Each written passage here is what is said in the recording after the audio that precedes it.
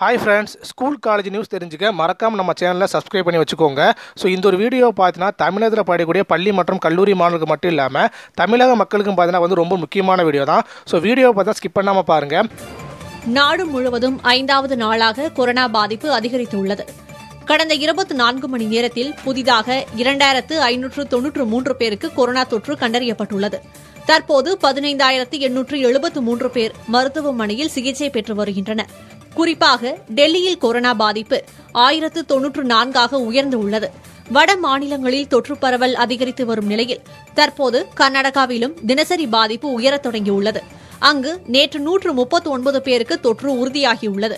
மேலும் கேரளாவில் புதிதாக முன்னூறு பேருக்கு தொற்று கண்டறியப்பட்டுள்ளது.